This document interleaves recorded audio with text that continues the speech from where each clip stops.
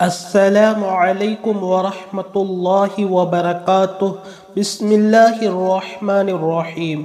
رب کعبہ کی قسم، آپ صرف ایک مرتبہ یہ اسم پڑھ کر اللہ سے جو مانگو گے، اللہ رب العالمین وہ آپ کو عطا فرمائے گا۔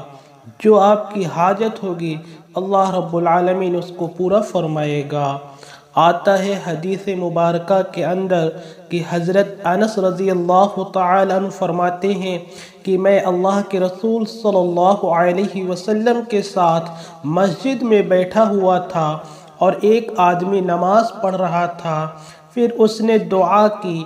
دعا کے الفاظ کو سن کر اللہ کے رسول صلی اللہ علیہ وسلم نے فرمایا، اس نے اللہ سے اس اسم عاجم کے ساتھ دعا مانگی ہے کہ جس کے ذریعے سے مانگی گئی دعا قبول ہوتی ہے اور اس کے ذریعے سے کیا گیا سوال عطا کیا جاتا ہے۔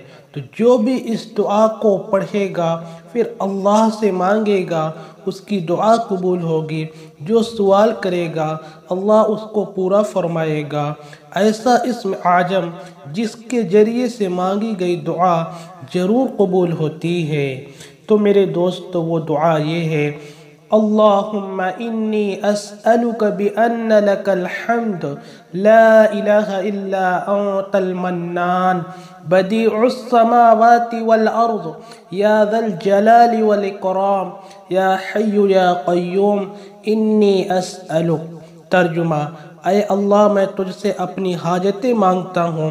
اس وسیلے سے کہ سب تعریف تیرے لیے ہیں. تیرے سوا کوئی معبود نہیں، تو بہت دینے والا ہے۔ آسمانوں اور زمین کا پیدا کرنے والا ہے۔ اے بزرگی اور بخشنے والے، اے زندہ اور خبرگیری کرنے والے، میں تجھ ہی سے مانگتا ہوں۔ تو آپ کو صرف ایک مرتبہ پڑھنا ہے۔ جو مانگنا ہے، جو مانگو گے، اللہ رب العالمین عطا فرمائے گا۔ دعا قبول فرمائے گا، حاجت پوری فرمائے گا۔ ویڈیو پسند آئے تو لائک ضرور کیجیے۔ آپ لوگ لائک بہت کم کرتے ہیں۔ لائک کریں گے تو اس اس سے یہ ہوگا کہ ویڈیو اور آگے بڑھے گی، اور لوگ بھی فائدہ اٹھائیں گے۔ اللہ پاک آپ سب کو خوش رکھے، آپ کی حاجتیں پورا فرمائے۔ عمل کی توفیق عطا فرمائے۔